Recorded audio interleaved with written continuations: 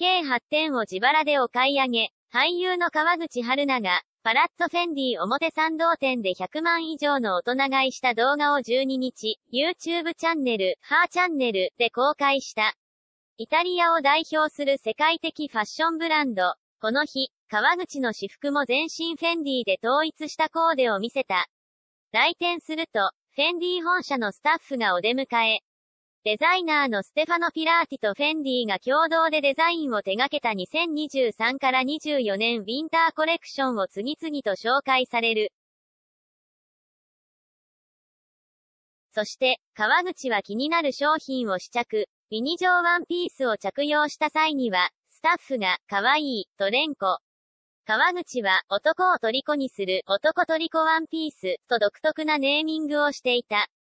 購入商品は、バーガンディウールボレロ、41万5800円。グリーンストレッチウールセーター、30万300円。ブラックホワイトストライプシルクシャツ、23万8700円。プリントクレープデシンシャツ、23万8700円。ブラックストレッチウールドレス、35万2000円。ブラックナッパスリングバックシューズ、14万3000円。パンツ、ベルトの計8点を自腹でお買い上げ。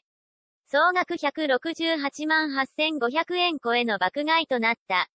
コメント欄には、何でも似合うスタイル羨ましい、はーちゃんの決断力好き、男前な感じが本当素敵、マジで何でも着こなすやん、人生一度で良いからハイブランド爆買いしてみたいものです、という声が寄せられた。